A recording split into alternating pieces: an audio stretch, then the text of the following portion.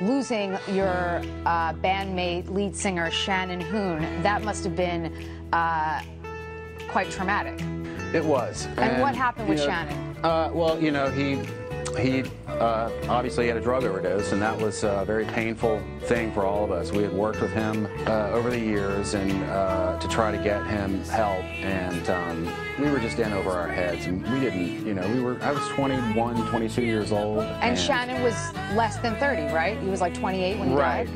Yeah, he was a couple years older than me. Yeah, he was. I think he was 20, 28 when he died, and um, yeah, it just it just crushed us. I mean, we were. I, I, for, I was in shock at first, and I just didn't know what to do. And I remember we were in New Orleans, and when I got the phone call in my hotel room, and um, I just we, we just didn't know what to do.